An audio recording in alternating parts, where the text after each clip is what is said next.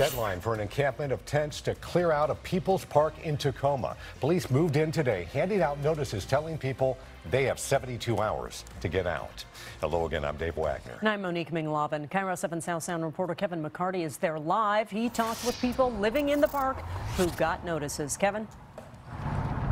And police started handing out these notices today. It means that all of these tents have to be out of People's Park by Monday afternoon. This move comes months after the city passed an ordinance banning tents in, in parks overrun by encampments. The notices started going out at 1 o'clock this afternoon. Tacoma police posted them on message boards and placed one at each tent in People's Park, leaving some confused about what they were supposed to do. I don't understand it really. You don't understand it? Like, why do we have to be out of the park at night? Really? Because, like, what if, what if we're sleeping? Tacoma City Council passed an ordinance October 1st banning walled tents in city parks after police told council members the shelters were often used to mask crimes.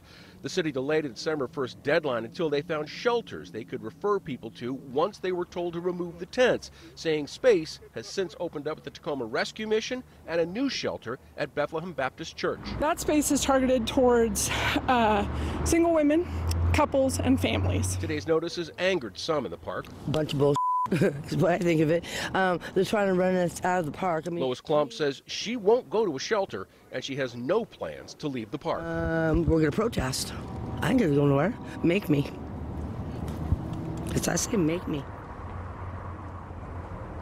Now, the city says that homeless people can still be in city parks. They can have their belongings in the park while they're there, but they can't have the walled tents and they can't sleep in the parks overnight. Enforcement begins on Monday.